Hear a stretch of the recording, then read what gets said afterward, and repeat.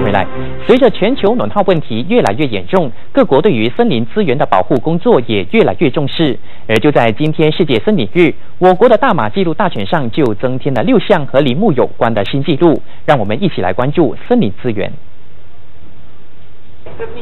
这些木头样本目前就收藏在雪兰莪的大马森林研究局内。可别以为它们只是普通的收藏品，它们可都是具有百年历史的古木。趁着今天世界森林日，大马纪录大全委员会在今天正式颁发了六项新纪录的证书给森林研究局，当中就包括全马最古老的木材样本、全马最大的木材样本以及全马最长的无障碍森林走道等。呃，记录了呃六个打马纪录大全了。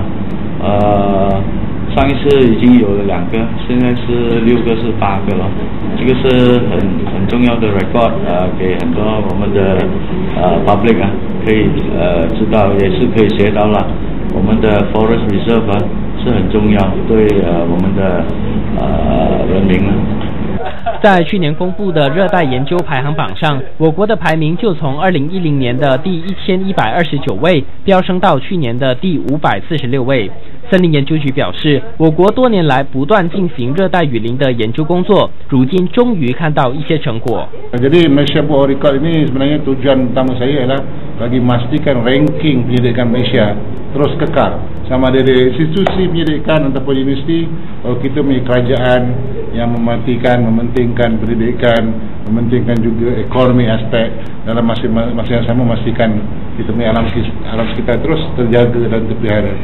只不过，当局认为我国民众的环保意识仍有待提升，尤其是民众经常在森林或公园活动之后都会留下不少垃圾，这对大自然来说是一种很大的伤害。 因此，他们除了努力进行宣导工作之外，也将在四月二十一号地球日当天举办植树活动，邀请民众带着一家大小一起来种树，加强国人的环保意识，拯救地球家园。RTM 杜文杰采访报道。我是刘振业，感谢您的收看，祝您有个愉快的周末晚上，我们明天再会。